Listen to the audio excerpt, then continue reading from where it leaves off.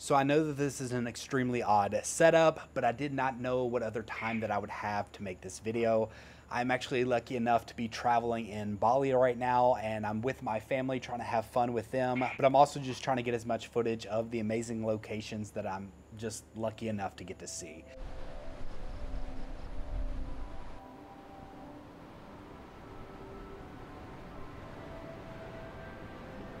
But this information is big information. I know a lot of people are looking forward to this particular camera, and that's why I want to get this information out there. So a few weeks ago, I posted a video talking about a new Sony ZV-E10 that was going to be coming out, or at least a new Sony ZV-E camera.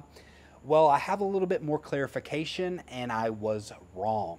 So apparently it is not going to be a Sony ZV-E blank. This is actually going to be a follow-up or another camera in the category of a ZV-1.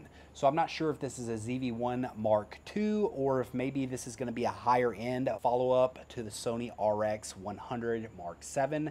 So maybe finally the RX 100 Mark VIII that we've all been waiting for. Now, that being said, this is going to be a ZV camera. So it's going to be a ZV camera, whether it's going to be the ZV-1 Mark II or it's going to be a new ZV higher end version. But if this is going to be a point and shoot camera, it is going to be aimed more at the vlogger community. I kind of got a little hint that maybe this will have a wider angle lens on it. And I know that was one of the complaints of the ZV-1 that it didn't have quite wide enough of a lens, especially when you had the active stabilization. It cropped in quite a bit.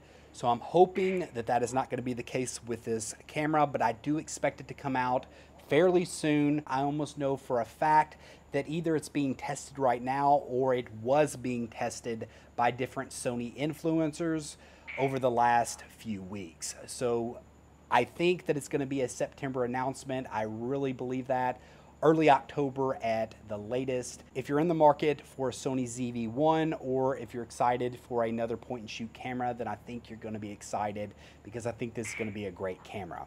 Now the reason why I do not think it is a Sony ZV-E whatever camera that I thought it was. Basically, it's from more information that I've gotten from my source. Now, I don't want to out my source, and also my source, he's not giving everything away to me basically because he's trying to play it close to the vest because I know that he has been testing this camera out, or at least he has highly hinted to me that he is testing this camera out.